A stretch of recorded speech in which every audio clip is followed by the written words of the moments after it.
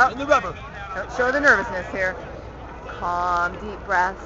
There you go. Wafting over is the smell of the porta potties, which always relaxes me. Absolutely. I love the smell of porta potty in the morning. It reminds me of triathlon.